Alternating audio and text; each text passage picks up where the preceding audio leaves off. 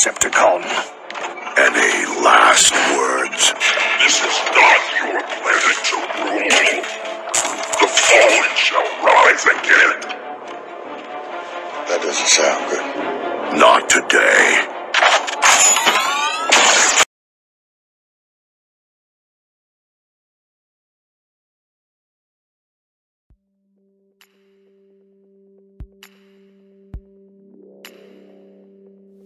For thou hast said in thine heart, I will ascend into heaven, I will exalt my throne above the stars of God. I will sit also upon the mount of the congregation in the sides of the north. I will ascend above the heights of the clouds. I will be like the Most High. Yet thou shalt be brought down to hell, to the sides of the pit. They that see thee shall narrowly look upon thee, and consider thee, saying, Is this the man that made the earth to tremble, that did shake kingdoms?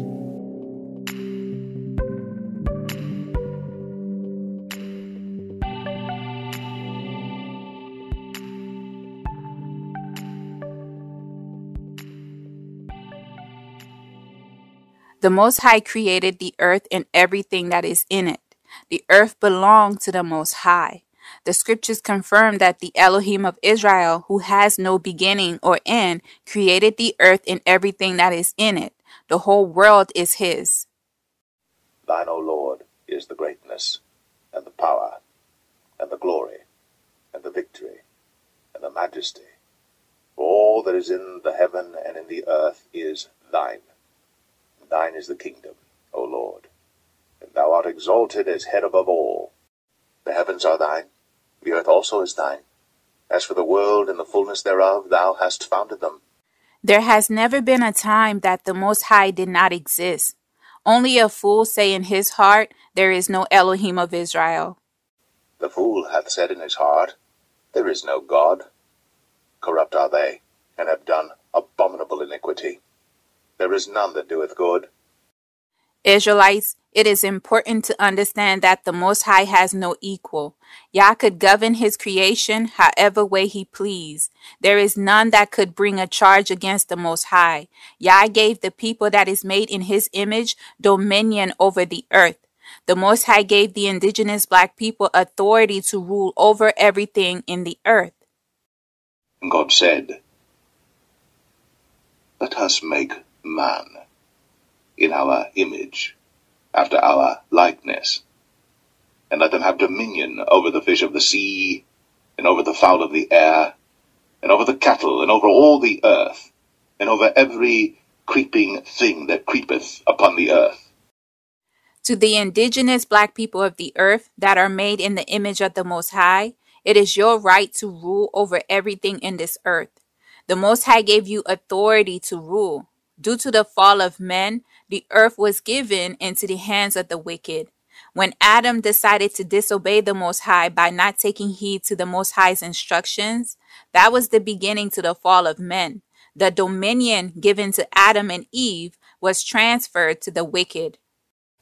And unto Adam he said, Because thou hast hearkened unto the voice of thy wife, and hast eaten of the tree of which I commanded thee, saying, Thou shalt not eat of it. Cursed is the ground for thy sake. In sorrow shalt thou eat of it all the days of thy life. The earth is run by the prince of the air, the God of this world, through his children, the seed of the fallen. Fast forward to this generation, the battle between good and evil continues.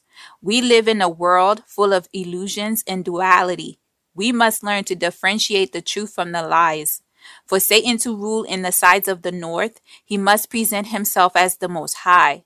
That is exactly what Satan did when he created religion and presented himself as God in the flesh through the false Messiah that came in his own name. The people of the Most High has fallen prey to the image of the beast. The indigenous people are worshiping the image of the beast all over the world. And I beheld another beast coming up out of the earth, and he had two horns like a lamb, and he spake as a dragon. And he exerciseth all the power of the first beast before him, and causeth the earth, and them which dwell therein to worship the first beast, whose deadly wound was healed.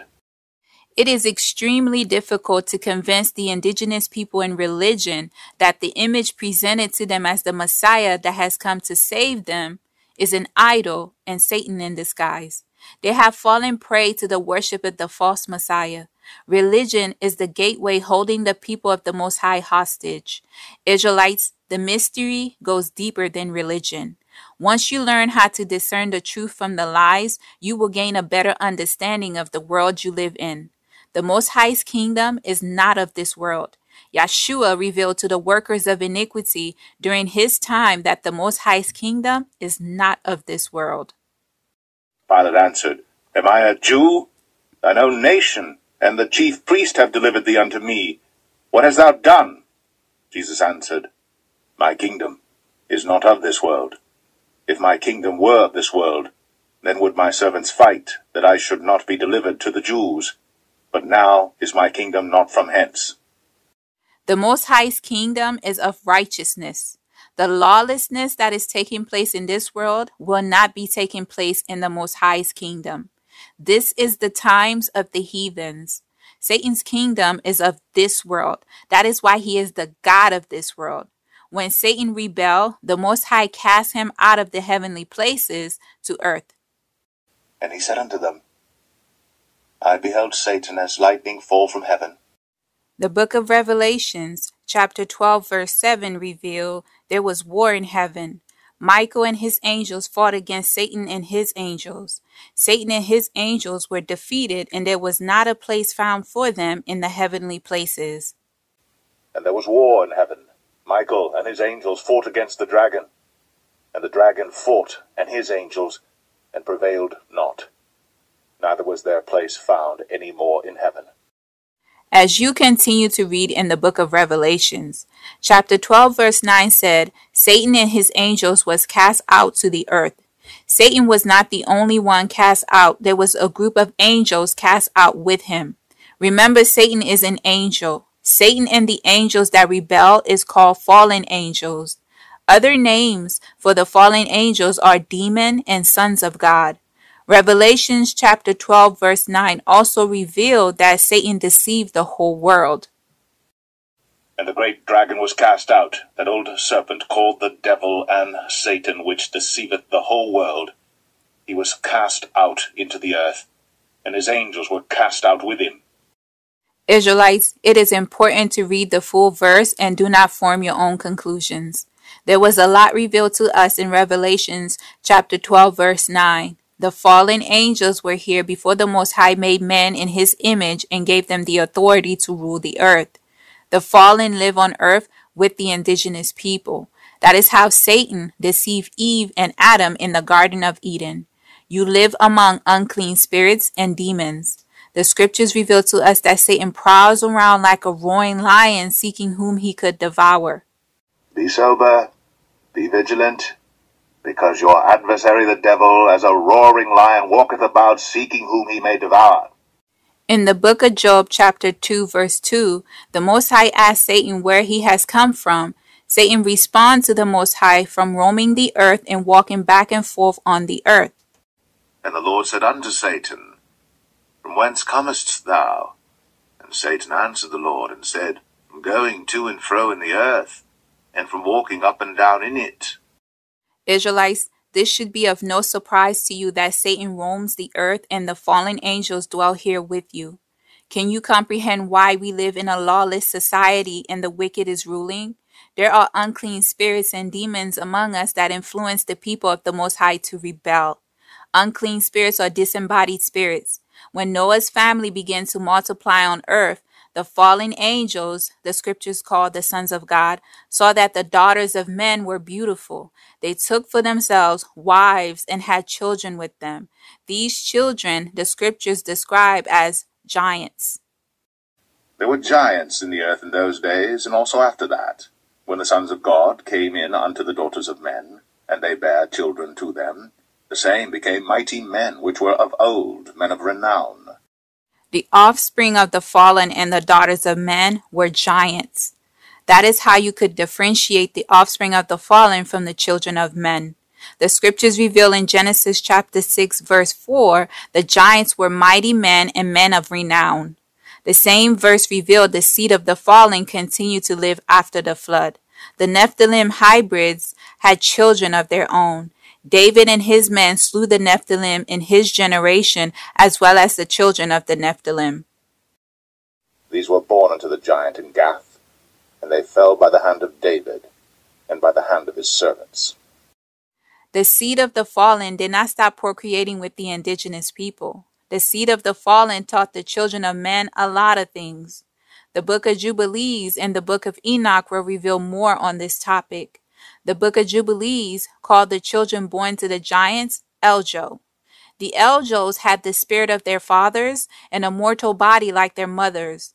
The more the seed of the fallen procreate with the indigenous people, the more mortal they became, and their size decreased. So far, only the book of Jubilees reference the offspring of the Nephilims as Eljos. The Bible referenced Gath as a location that had the descendants of the Nephilims dwelling there. David and his men slew four Eljos in Gath. These four were born to the giant in Gath, and fell by the hand of David, and by the hand of his servants.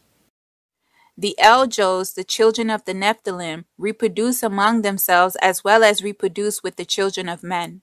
The offspring of the Eljo are what we know as the Neanderthals. If you do your research on the Neanderthals, you will find that they appear to be human. However, they are of a different species from the indigenous black people. The Neanderthals are pale skinned with straight hair. Some species of Neanderthals were tall like their fathers, the Eljo and the Nephilims. Most Neanderthals were shorter than the indigenous people. The Neanderthals were stronger than the children of men. The scriptures describe the fallen seed as men of renown and mighty men.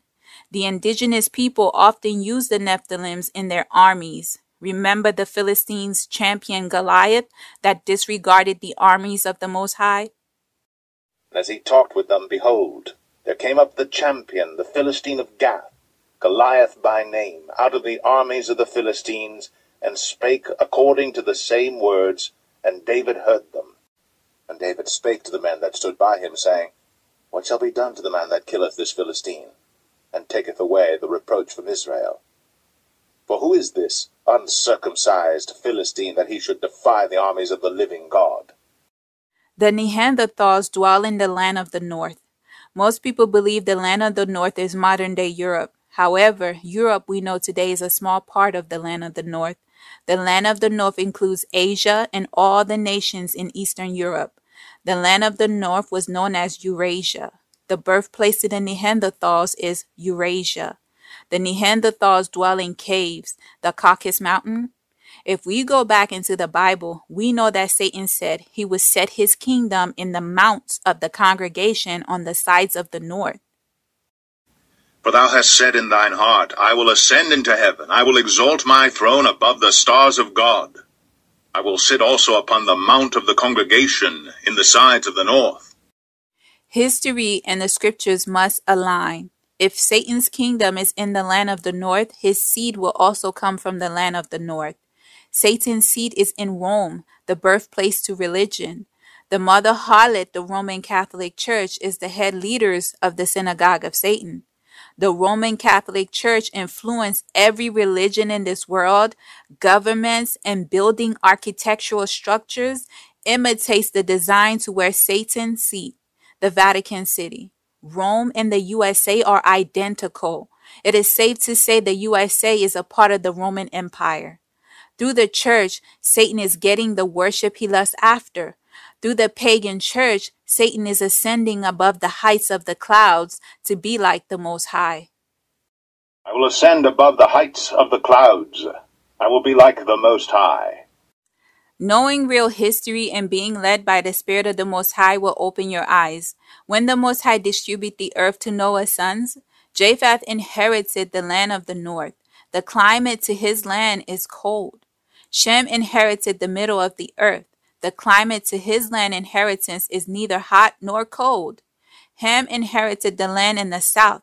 The climate to Ham's land inheritance is hot. All three of Noah's sons complained to Noah of the demons in the flesh that was tormenting their children. The seed of the fallen infiltrate all three of Noah's sons' bloodline. The scripture said, while man slept, Satan planted tares among the wheat and went his way. But while men slept, his enemy came and sowed tares among the wheat and went his way. When the seed of the fallen conquered land all over the world and colonized the people, the first thing they did was plant their seed among the indigenous population to change the appearance to the black indigenous people.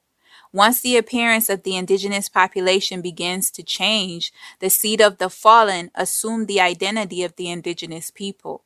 The beast system recognizes that the original man and woman that carry the human DNA are Homo sapiens. Homo sapiens are the indigenous black people who inherited the earth. They are the Most High's creation. Homo sapiens live all over the world. When Noah's sons fill the earth, they dwell in the lands inherited from their fathers, Shem, Ham, and Japheth. And God blessed Noah and his sons, and said unto them, Be fruitful, and multiply, and replenish the earth.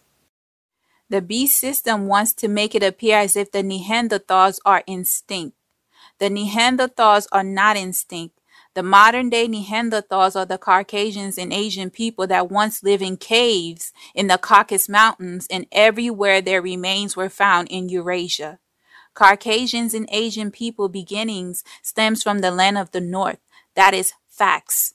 This is not hate speech or racism. This is history and truth. It is widely known that Caucasians and Asians have Neanderthal DNA. Remember, Neanderthals are the offspring of the Eljo who descends from the Nephilims. The beast system never reveals the background and origins to the Neanderthals. They have all the information about the Neanderthals. However, when it comes to their origins, it is unknown. Today you will know the truth, and the truth will make you free.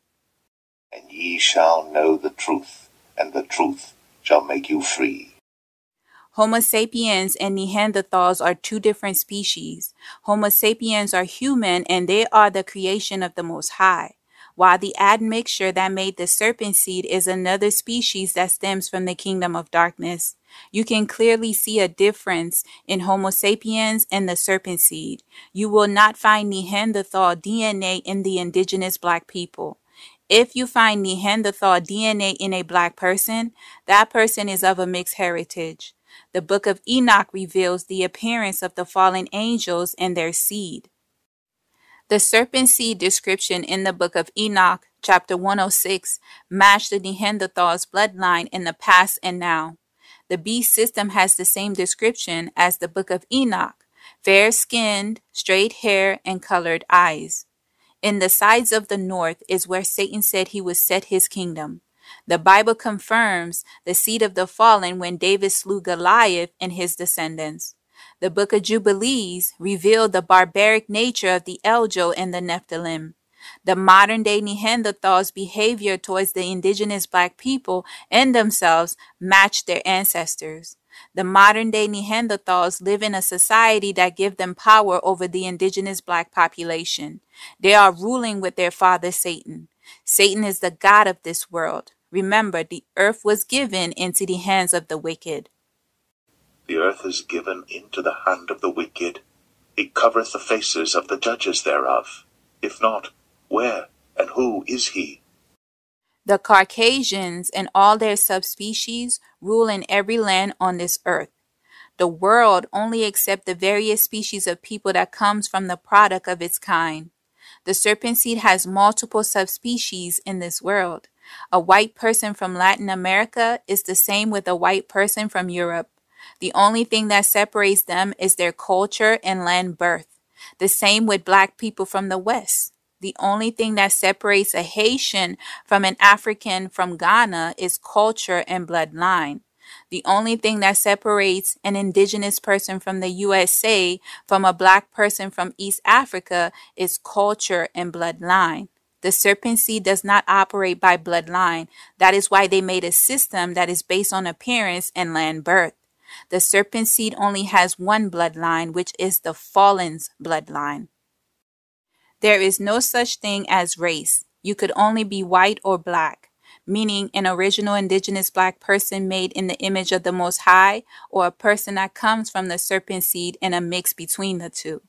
The beast system is the creator of race. That is why race is based on appearance and place of birth.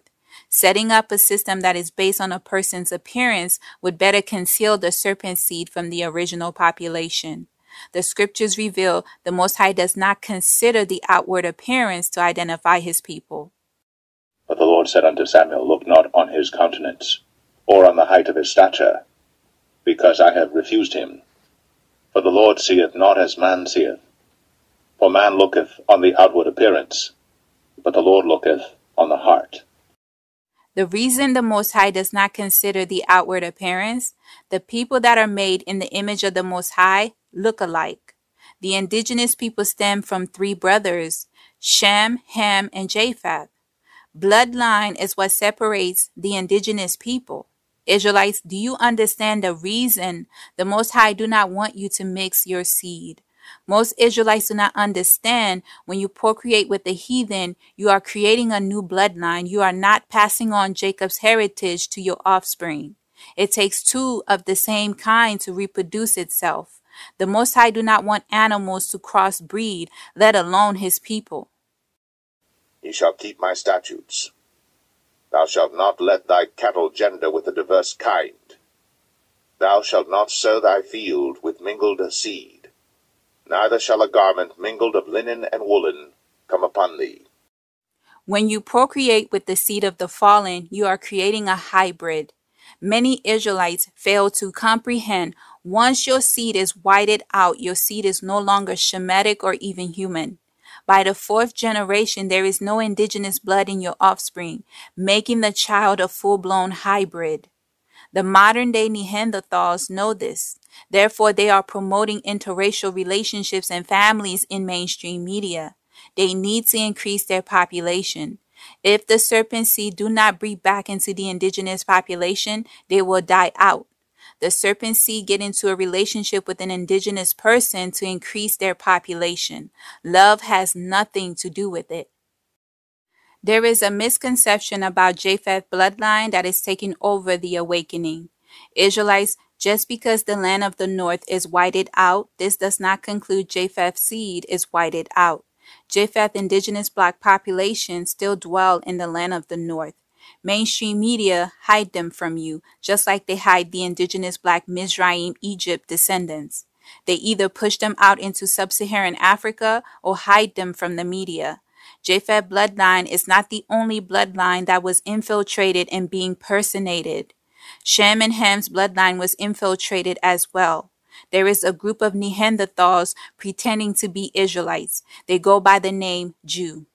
Israelites, if you could find indigenous black Shemites like us who are claiming our heritage, Japheth has indigenous descendants living today and they are dwelling close.